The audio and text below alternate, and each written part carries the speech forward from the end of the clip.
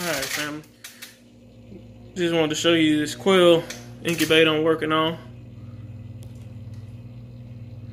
That I built myself. So that was a mechanism, turning mechanism I got. You can see how I got it connected here. Still got to put the door on. Tray's gonna fit in like that.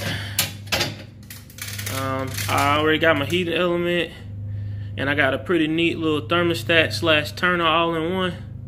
So it's gonna be legit. And instead of paying, hey, um, seven hundred dollars for something, even though don't get me wrong, the one you can get for seven hundred bucks has got more capacity than this. But hey, this is really all I need for right now. Okay, I gotta wait till that go the other way, put the other but you get the idea. I also will have the same kind of fan as a commercial one, the same heating element.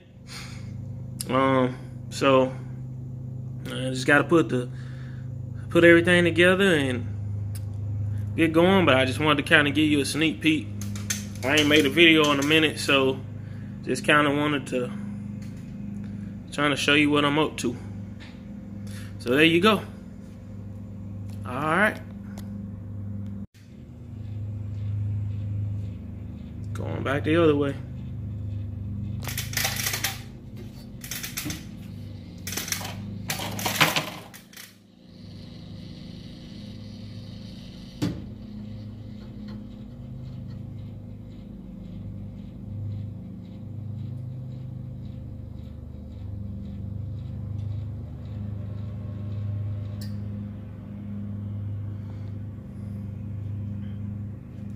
believe that's gonna work out.